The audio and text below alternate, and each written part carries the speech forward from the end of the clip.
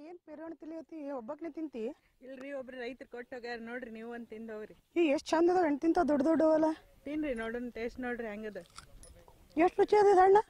ಅದೇ ರೀ ಇಲ್ಲಿ ಕತಿಜಾಪುರ ಹತ್ರ ಒಬ್ರು ರೈತರು ಬೆಳೆದಾರ್ರಿ. ಅವ್ರ ಹತ್ರ ಹೋಗಿ ತಗೊಂಬಂದೆ ನಾನು. ಅವ್ರು ಚಲೋ ಬೆಳೆದಾರ್ರಿ ಇದು ಒಣ ಬೇಸಾಯದಾಗ ಬೆಳೆದಾರ್ರಿ ಅವರು. ಕರೆ ಇಷ್ಟು ರುಚಿ ಇರಂಗಿಲ್ಲ ನಾವು ಬಾಜಾರ್ನಾಗ ಎಷ್ಟೋ ಸಲ ತಂದು ತಿಂದೀವಿ ಇಷ್ಟು ರುಚಿ ಇರಂಗಿಲ್ಲ. ಅದೇ ನಾನು ಹೋಗಿ ಅಲ್ಲಿ ನೋಡ್ಬೇಕಂತ ಹೇಳಿ ಹೊಂಟೀನ್ರಿ. ಏ ನಾನು ಬರ್ತೀನಿಲ್ಲ ನಾನು ಕರ್ಕೊಂಡು ನಡಿ. ಹೆಂಗಿರ್ಬೇಕಿತ್ತು ಕಣ್ಣ ಎಷ್ಟು ರುಚಿ ಅವ. ಹ್ಮ್ ಹೋಗುನ್ ಬರ್ರಿ ಅಲ್ಲಿ ನೋಡ್ಕೊಂಡು. ಹ್ಮ್. ಒಂದ್ ಎರಡು ಕಿಲೋ ತೊಗೊಂಡು ಹೋಗ್ಲಿ ಹಾ ಮಾಡ್ತಿದ್ರು ತಗೊಂಡೇ ಹೋಗೋಣ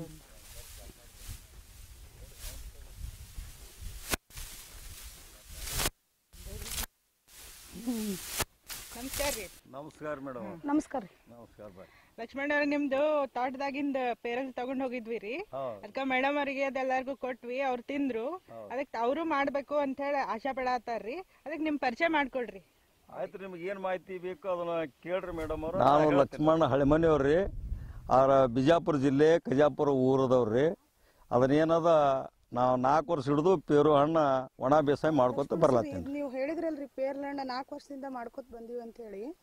ಇದನ್ನ ಹೆಂಗ್ ಮಾಡ್ಬೇಕ್ರಿ? ನಾವು ಮಾ ನಮ್ಮ ಹೊಲದಾಗ ನಾವು ಇದನ್ನ ಬಿತ್ತಬೇಕು ಅಥವಾ ನಾಟಿ ಮಾಡ್ಬೇಕಂದ್ರೆ ಹೆಂಗ್ ಮಾಡ್ಬೇಕ್ರಿ ಇದನ್ನ? ಇದು ಒಣ ಬೇಸಾಯ ಮಾಡ್ಬೇಕಾದ್ರೆ ಕರಿ ಭೂಮಿ ಒಳಗೆ ಬಿಳಿಚಿ ಅಂತೇಳಿ ಒಂದು ಭೂಮಿ ಬರ್ತದ್ರಿ. ಬಿಳಿಚಿ ಅಂತೇಳಿ ಆ ಭೂಮಿಗೆ ಮಾಡ್ಬೇಕಾಗ್ತದ್ರಿ. ಯಾಕಂದ್ರೆ ಬಿಳಿಚಿ ಅಂದ್ರೆ ಇದು ತಂಪು ಹಿಡಿತದ್ರಿ.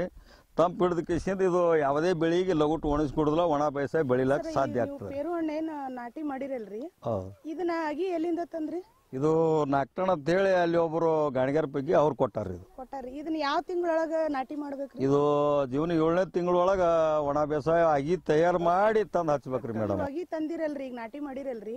ಇವ್ ಎಲ್ಲಿಂದ ತಂದ್ ನಾಟಿ ಮಾಡಿರಿ? ನಾ ಇಲ್ಲಿ ನಾಕ್ಟಣ ಅಂತೇಳಿ ಅದಾರ್ರಿ ಆ ನಾಕ್ಟಣದಾಗ ಕೊಟ್ಟಾರ ಅಗಿರಿ. ಕೊಟ್ಟಾರಿ ಇವ್ ಅಗಿ ನಾಟಿ ಮಾಡ್ಬೇಕಂದ್ರೆ ಯಾವ ತಿಂಗಳೊಳಗ ನಾಟಿ ಮಾಡ್ಬೇಕ್ರಿ? ಏಳನೇ ತಿಂಗಳು ಜೀವನದಾಗ ಮಾಡ್ಬೇಕ್ರಿ ಇದು. ಜೂನ್ ಜುಲೈದಾಗ ನಾಟಿ ಮಾಡ್ಬೇಕು ಮಾಡ್ಬೇಕ್ರಿ.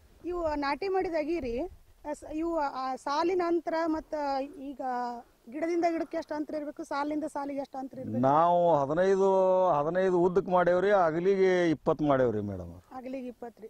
ಇದಕ್ಕೆ ನೀರು ಉಣಿಸೋದ್ರಿ?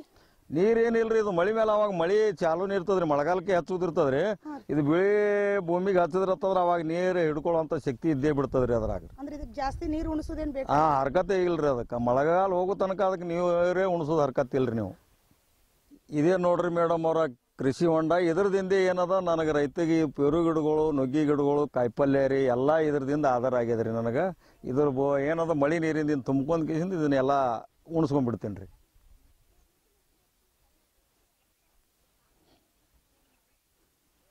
ನೀವು ಈ ಗಿಡ ಹಚ್ಚಿದ್ರಿ ಗಿಡ ಗಿಡ ಹಂತಕ್ಕೆ ಹಂತಕ್ ರೀ, ಈಗ ನಾವು ಎಷ್ಟು ದಿವ್ಸಕ್ಕೆ ಹೂ ಬಿಡ್ತದ್ರಿ ಇದು ಪೇರ್ಲಣ್ರಿ ಇದಕ್ಕೆ ಹದಿನೈದು ಹದಿನೆಂಟು ತಿಂಗಳು ಬೇಕ್ರಿ ಕಾಯಿ ಬಿಡ್ಲಾಕ. ಹದಿನೆಂಟು ತಿಂಗಳ್ರಿ. ಹಾ. ಹದಿನೆಂಟು ತಿಂಗಳಾದ್ಮೇಲೆ ನಮಗೆ ಕಾಯಿ ನಿಮಗೆ ಸಾರ್ಗ ಕಾಯಿ ಚಾಲೂನೇ ಇರತ್ತದ್ರಿ ಅದ್ರ ಅದು ಎಷ್ಟು ತಿಂಗಳವರೆಗೂ ನೀವು ಇದನ್ನ ಕಾಯಿ ತೆಗಿತೀರಿ ಹಂಗೆ ರೀ ಇದು ನಾವು ಎರಡ್ಮೂರು ತಿಂಗಳ ತನ ಹೋಗ್ತದ್ರಿ ಕಾಯಿ ಹಂಗೆ ಕಾಯಿ ಕೊಡಾಕ್ ಶುರು ಕಾಯಿ ಚಾಲು ಆಯ್ತಂದ್ರ ಮೂರ್ನಾಲ್ಕು ತಿಂಗಳು ಹೋಗ್ತದ್ರಿ ಗಿಡ ಹಚ್ಚಿದ್ಮೇಲ್ರಿ ಇದು ಎಷ್ಟು ವರ್ಷದೊಳಗೆ ಎಷ್ಟು ಸಲ ಹಣ್ಣು ಕೊಡ್ತದ್ರಿ ಇದು?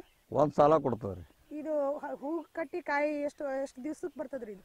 ಇದು ಎಷ್ಟು ದಿವ್ಸಕ್ಕೆ ಬರ್ತದಂದ್ರೆ ಹೂ ಕಟ್ಟ್ರಿ ಮೂರು ತಿಂಗಳಿಗೆ ಚಾಲು ಆಕ್ಕದ್ರಿ ಹೂ ಕಟ್ಟಿದ ಮೂರ್ ತಿಂಗಳಿಗೆ? ಮೂರು ತಿಂಗಳಿಗೆ ಚಾಲು ಆಕ್ಕ ಎಷ್ಟು ದಿನ ತೆಗಿಬೋದ್ರಿ ನಾವು ಕಾಯಿ ಇದನ್ನ ಹಿಂಗ? ಅದು ಮುಂದೆ ಮೂರು ನಾಲ್ಕು ತಿಂಗಳು ತೆಗಿಬೋದ್ರಿ ಕಾಯಿ ಮೂರರಿಂದ ನಾಲ್ಕು ತಿಂಗಳು ಹಾ. ಇದು ಎಷ್ಟು ಎಕರೆ ಮಾಡಿರಿ ಈ ಪೇರ್ಲನ್ರಿ? ನಾವು ಇದು ಎರಡು ಎಕರೆ ಮಾಡೇವ್ರಿ. ಎರಡು ಎಕರೆ ರೀ.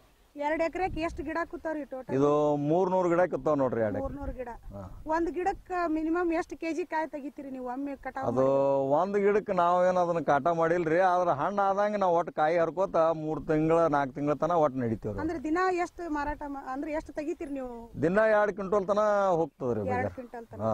ಅದು ಹೆಂಗೆ ಕಿಲೋ ಅದಂಗ್ ಕೊಡ್ತೀರಿ ನೀವು ಇದನ್ನ? ನಾವು ಅದು ಲಾಸ್ಟ್ ಮೂವತ್ತರ ಹಿಡಿದು ನಲ್ವತ್ತರ ತನ ಒಟ್ಟು ಕಾಯಿ ಮಾರ್ಯದ ನೋಡ್ರಿ ಈಗ ಎರಡು ವರ್ಷ ತನ ರೀ. ಮೂವತ್ತರಿಂದ ನಲ್ವತ್ತು ನಲ್ವತ್ತು ರೂಪಾಯಿ ಕಿಲೋ ಮಾರ ಲಕ್ಷ್ಮಣ ಅವರೇ ನೀವು ಇಷ್ಟೊತ್ತವರೆಗೂ ನಮಗೆ ಎಲ್ಲಾ ರೀತಿ ಮಾಹಿತಿ ತಿಳಿಸಿದ್ರಲ್ಲ ಇದನ್ನ ಮಾಹಿತಿನ ನಮ್ಮ ಬೇರೆ ರೈತರಿಗೆ ಏನಾದರೂ ಹೇಳಲಿಕ್ಕೆ ಆ, ನಿಮ್ಮ ಒಂದು ಅನಿಸಿಕೆನ ಹೇಳಲಿಕ್ಕೆ ಇಷ್ಟಪಡ್ತೀರಿ? ನಾನು ರೈತರಿಗೆ ಹೇಳೋದು ಅಂದ್ರೆ ಏನಂದ್ರೆ ಈ ನನ್ನಂಥ ರೈತರು ಸಾವಿರಾರು ಇವತ್ತ ನೌಕರಿ ಅದು ಇದು ಅಂತಾರ. ಇವತ್ತು ರೈತಕಿ ಒಳಗೆ ಬಂದು ಅನೇಕ ಥರದ ಬೆಳೆ ಬೆಳಿಲಾಕ ಇವತ್ತು ರೈತರಿಗೆ ಸಾಧ್ಯ ಅದ.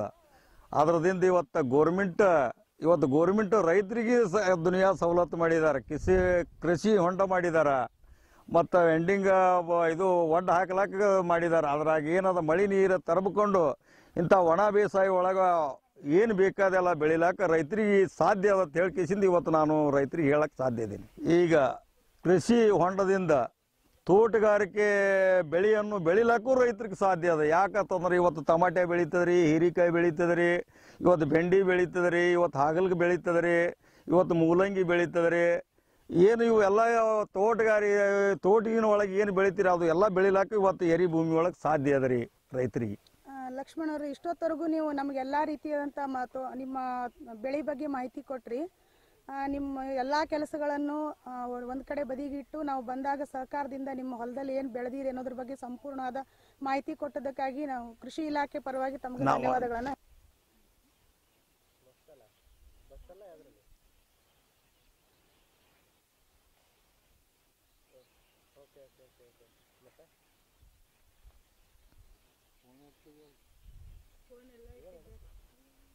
ಇದುವರೆಗೂ ನೀವು ನೋಡಿದ್ರಲ್ಲ ರೈತರೆ ತೋಟಗಾರಿಕೆ ಇಲಾಖೆ ಬೆಳೆಯಾಗಿರ್ತಕ್ಕಂಥ ಪೇರ್ಲಣ್ಣನ್ನು ನಾವು ನೀರಾವರಿ ಇದ್ದಲೇ ಬೆಳಿಬೇಕು ಅನ್ನೋಂಥ ವಿಚಾರದಲ್ಲಿ ಇದ್ದಂಥ ರೈತರಿಗೆಲ್ಲ ಒಣ ಬೇಸಾಯದಲ್ಲೂ ಕೂಡ ನಾವು ತೋಟಗಾರಿಕೆ ಬೆಳೆನ ಬೆಳಿಬೇಕು ಅನ್ನೋದಕ್ಕೆ ಉದಾಹರಣೆ ನಮ್ಮ ಕತಿಜಾಪುರ, ಬಿಜಾಪುರ ತಾಲೂಕಿನ ಕತಿಜಾಪುರ ಗ್ರಾಮದ ಲಕ್ಷ್ಮಣ ಅವರು ರೈತರು, ಎರಡು ಎಕರೆ ಪೇರ್ಲಣ್ಣನ್ನು ಬೆಳೆದು ಸುಮಾರು ಒಂದು ದಿನಕ್ಕೆ ಎರಡು ಕ್ವಿಂಟಲ್ ಪೇರ್ಲಣ್ಣನ್ನ ಇವತ್ತು ಒಣ ಬೇಸಾಯದಲ್ಲಿ ಬೆಳೆದು ಉತ್ತಮ ರೈತರಾಗಿ ಅದನ್ನ ಒಳ್ಳೆ ಒಂದು ಕ್ವಾಲಿಟಿ ಹಣ್ಣನ್ನ ಮಾರ್ಕೆಟಿಗೆ ಕೊಟ್ಟು ಸುಮಾರು ಅದೊಂದು ಉದ್ಯೋಗವಾಗಿ ಮಾರ್ಪಾಡು ಮಾಡ್ಕೊಂಡಿರ್ತಕ್ಕಂಥದ್ದು ನಾವು ನೀರಾವರಿಯಲ್ಲೇ ಬೆಳಿಬೇಕು ಅನ್ನೋಂಥ ವಿಚಾರನ ಬಿಟ್ಟು ಅವರು ಕೃಷಿ ಹೊಂಡ ಮಾಡಿಕೊಂಡು ಬಂದಿರತಕ್ಕಂಥ ಮಳೆ ನೀರನ್ನ ಸಂಗ್ರಹಣೆ ಮಾಡಿ ಆ ನೀರನ್ನ ಕಾಲ ಕಾಲಕ್ಕೆ ಗಿಡಗಳಿಗೆ ಪೂರೈಸಿಕೊಂಡು ಒಣ ಬೇಸಾಯದಲ್ಲಿ ಉತ್ತಮವಾದಂಥ ರುಚಿಕರಾದಂಥ ಪೇರ್ಲಣ್ಣನ್ನು ಕೊಟ್ಟಿರ್ತಕ್ಕಂಥದ್ದು. ಇದು ಎಲ್ಲ ರೈತರಿಗೂ ಮಾದರಿಯಾಗಿರ್ತಕ್ಕಂಥ ರೈತರಾಗಿ ಇವತ್ತು ನಾವು ಲಕ್ಷ್ಮಣ ಅವ್ರನ್ನ ನೋಡ್ಬೋದು ಅಂತ ಹೇಳ್ಬೋದು.